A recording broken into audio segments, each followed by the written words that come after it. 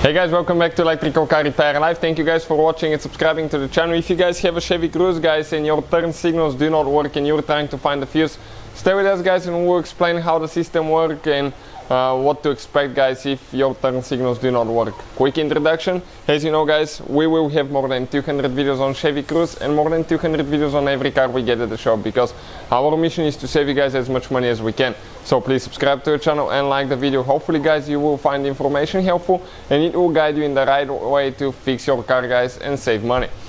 Now this is a 2015 Chevy Cruze, but uh, it should work the same way for the whole first generation from 2008 to 2016. Uh, if you guys need to buy any parts or tools uh, for your Chevy Cruze, check out the link to see where we get ours from for a very very good price guys, so if you need anything you can check it out there. Now, if your turn signals do not work guys and you're trying to find a fuse, bad news for you guys. Why? Because Chevy Cruze does not have guys fuse for the turn signals. Now, this sounds terrible, right? How, okay, how the uh, turn signals, okay, are controlled if you do not have a fuse. You guys have a BCM. It's called a BCM. It's body control module. We have a video on the channel that explains where it's located and how to replace it. It is kind of like uh, this is your engine computer here, but you have one computer for everything that uh, the body has. Power windows, um, air conditioning guys, for quite a few things, for uh, instrument cluster, for lights. So this is controlled by the BCM, the body control module. And since you don't have guys a fuse, okay, a fuse for the turn signals, what uh, uh, what you guys uh, have is uh, uh, integrated, okay, integrated part of the BCM controls the turn signals. So if something goes wrong, let's say something shorted out, the BCM will automatically deactivate the turn signals. Now practically that sounds amazing, right?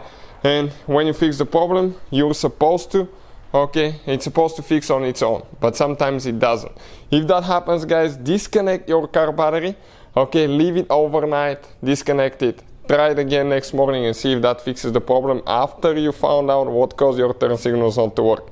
It could be broken wire, it could be a bad switch. Now if that doesn't fix the problem guys, you will have to reset the, uh, the BCM and we have a video on the channel what we use to reset the BCM. Okay, this is uh, this is what we use right here, Maxicom. This is amazing tool guys. You can find the link in the description of the video below. It works on any car, not just Chevy Cruze, and you can scan and delete codes from every computer in the car. So check it out, guys. Uh, you just connect it, scan the system, clear the codes, and that should fix the problem. A common, okay, a common problem for turn signals not to work, guys, is the turn signal lever. Okay, lever sometimes will go bad and as a result guys your turn signals may be deactivated. So if you want to see video on the channel how to uh, fix, uh, replace turn signal lever, we have it on the channel. Check it out if you need to buy one, we'll have the link in the description of the video below. If all that checks out guys, a couple of fuses to uh, check. Number 31, okay, I think it's for the ABS, but uh, it's actually part of the turn signal loop as well so check that fuse guys, number 31. And also right here on the top cover, okay, on top of the battery terminal, you have another fuse here guys, fuse box.